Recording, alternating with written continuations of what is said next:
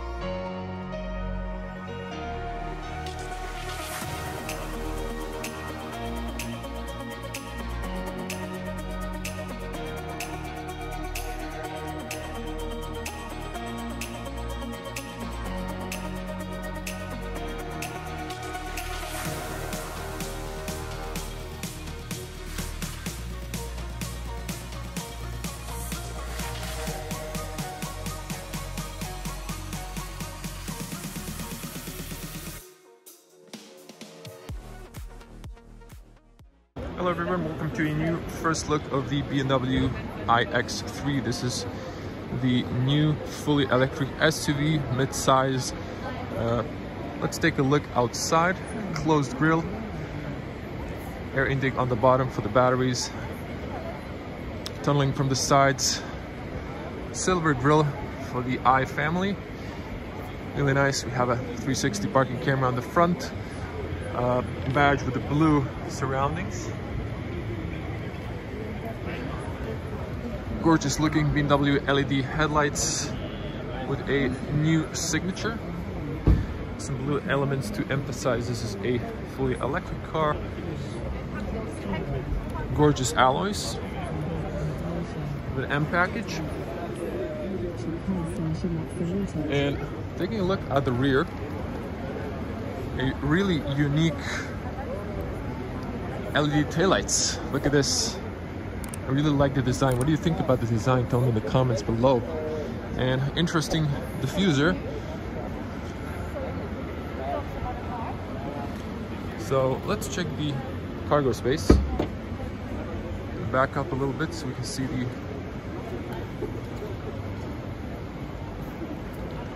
cargo space. So very spacious. Nice flat entry for easier access to the points You have um, grocery hooks there, pop out, have a 12 volt outlet. So we have a nice LED on both sides. Quite nice little area for the first aid. We have additional storage here for the charging cables. Little strap here. For the first aid, you can see a little bit extra on the bottom as well so quite nice. And then you can close it up like that. Another light on the top. Backing camera as well. And again, blue surrounding around the badge. So let's dive inside.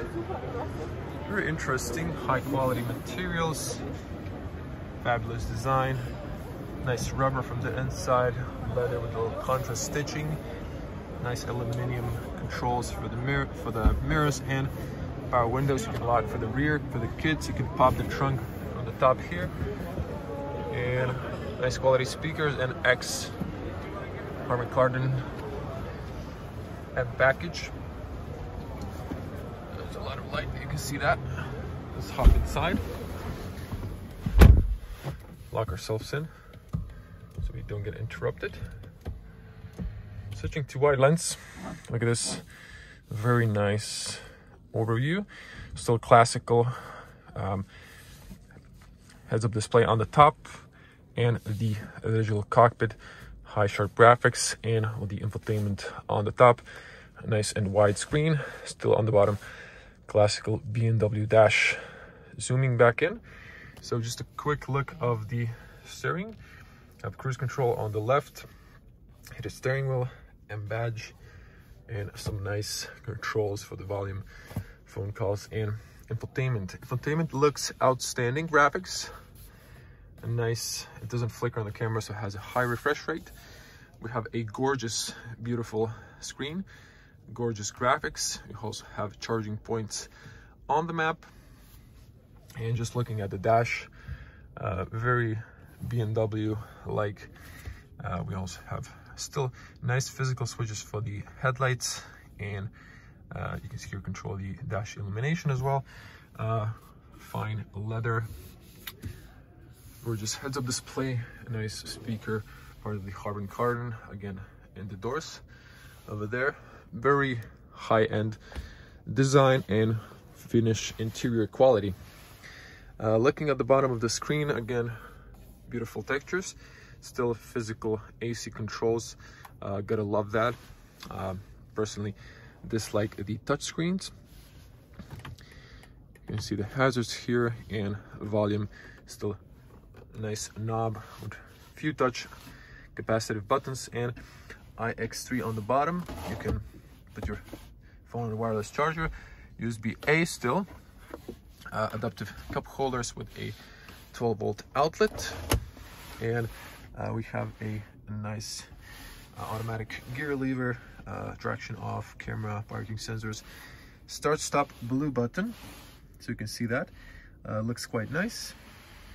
I prefer uh, white illumination instead of this orange but it's a BMW signature auto hold parking brake and you still have this uh, nice infotainment which is quite easy to use. With this, we have shortcuts here, map navigation, uh, home. So you can also use the touch screen. It's nice. Uh, a little bit maybe too much text, but still uh, pretty nice graphics. Uh, there's a pull down menu on the top for some shortcuts and communications. Plenty of menu options. But uh, graphics are really outstanding. I gotta say, I like how they made this. You can see here charging uh, current limit departure uh, settings. So uh, standard AC you can plan your time for charging uh, unlock uh, preferences and you can hear uh,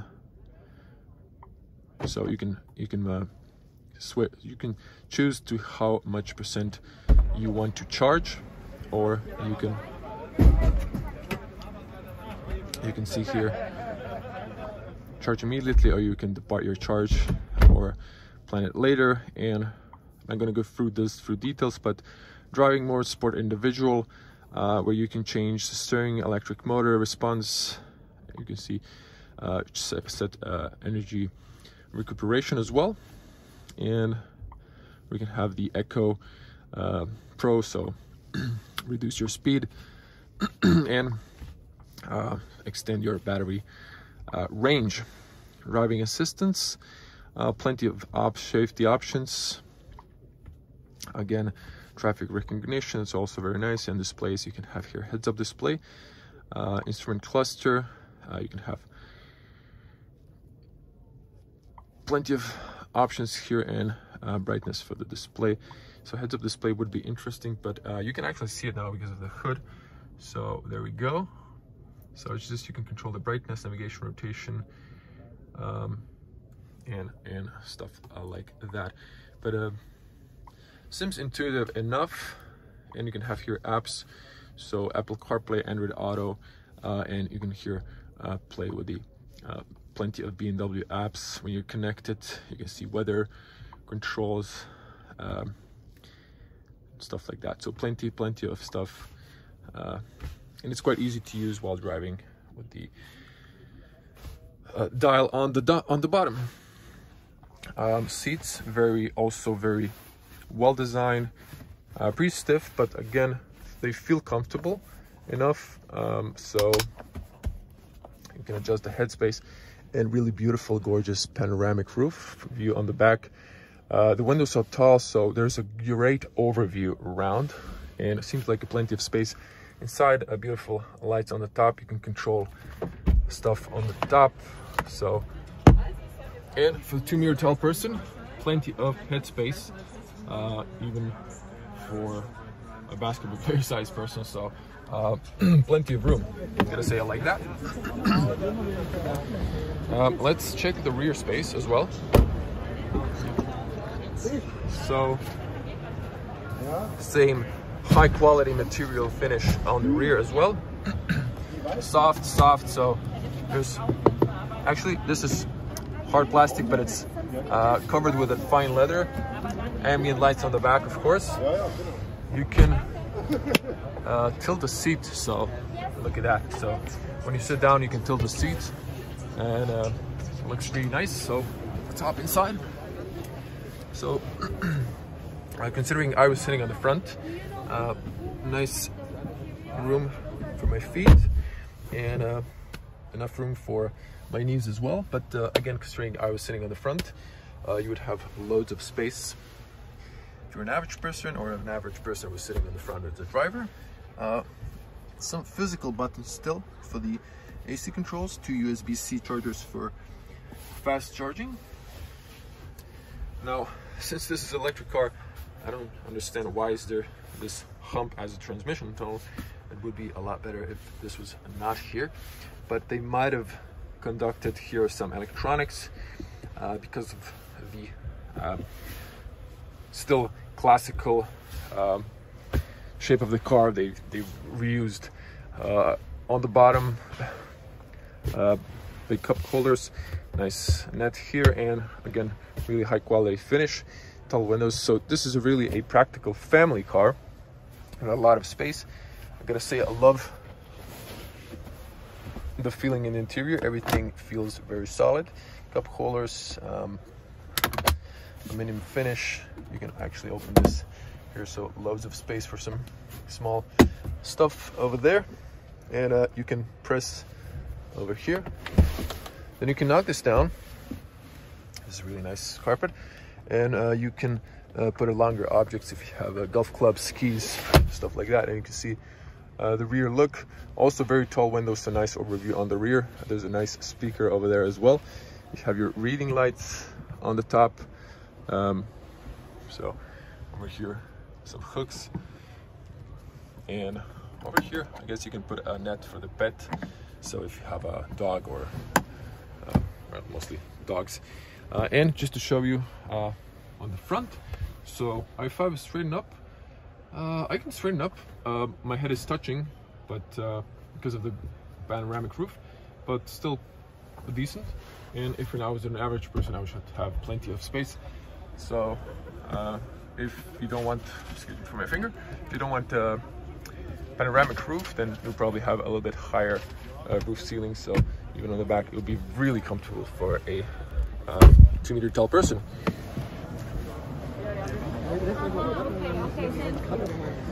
Now, we saw the cargo space, pretty practical. I gotta say, I like these, um, I like the signature of this uh, LED taillights. And let's see the charging ports. So uh, nicely, BMW decided to label these so you have the AC and the DC. So AC is your type 2 cable and DC is combined here your uh, CCS for DC or fast charging. And got some information there. So it, it looks like a classical uh, fuel cap but it's a charging port. And uh, to back up a little bit here while I have some space you can see the car the whole car in the frame uh, just elegant classical BMW style. And uh, let's check the spec. So what do we have here there's a lot of glare. Hopefully you'll see this. So BMW iX3. Um, so this is Deutsch. Uh, we're gonna switch to English because the channel uh, main language. So base price 65,000 euros. Uh, then a little change and then total price of this uh, usually fully spec model sometimes uh, 72,000 almost 73,000 euros so the base model is available from 50 uh, 1000 euros. So let's see what's um, in the package. Uh, so once again model and prices. Uh, I'm just gonna pause here. You just read the so we have a nice uh, carbon black metallic color. Uh, okay so packages. So plenty of options. So you can pause and read there. And then equipment M aerodynamic package, adaptive LED headlights, safety features, and technical data. So uh, just to check out here, performance. So uh, maximum output electric engine, 210 kilowatts, 286 horsepower. For an SUV should be uh, quite enough. Uh, and we have top speed here limited to 180 kilometers per hour. It's still impressive. Uh, nice for the German Autobahn, considering this is an electric car. 0 to 100 in 6.8 seconds, not bad. Um, but nothing close to a Tesla perhaps. And whoops, um, just back. Uh, so electric range 456 kilometers. Um, you can at least in real life reduce at least 100 kilometers maybe in the winter. So, oh, electric range. Okay, that's the urban. So, hmm. Well, we'll see that on future tests. And power consumption is supposed to be 18, almost 19 kilowatts. It's a little bit higher, but still good considering an SUV body style. And uh, here are the dimensions for those of you who are interested. Length, weight, height, and uh, weight, unloaded total weight, almost three tons. That's a pretty heavy car. But uh, unloaded is, yeah, over a little over two tons. Uh, quite impressive, uh, for sure. So I'd like to hear your opinions. Now, uh, once again, the look of the exterior looking really gorgeous. Uh, masculine BMW style uh, of the iX3 with the big kidneys that are now closed because air intake on the bottom is sufficient enough. Also, we have a Raider. What do you think about the grill? Tell me in the comments. I like this silver finish and then this blue uh, accents even on the badge kind of stands out as an electric but still classical BMW and I gotta say I like this like an X on the sides here, signature of the LED headlights. Uh, we're gonna see if we can pop the hood and show you how it looks. Do we have a frunk? So pull twice and then we have the access to the front hood. I'm gonna back up a little bit since I have some space so you can see how that looks. So there's some hot areas here, do not touch. And looks like uh, some coolant here. This is for the user with the driver washer fluid. Uh, should be a full battery underneath here and we have some huge cover, plastic cover. So uh, it appears to be closed so there is no uh, front space that you would uh, expect on an electric car. I guess the BMW uh, is still using uh, the body of a classical car so that might be the reason. And of course I didn't close it properly, so I have to push down a little force. Oh, there's two latches. Okay, so you obviously need two hands. I'm filling with another, but uh, it just closes and it's all right. So how was the iX3? Leave your comments below. How do you like it? I think it looks pretty BMW-ish, but with a little touch of a new powertrain with the blue accents.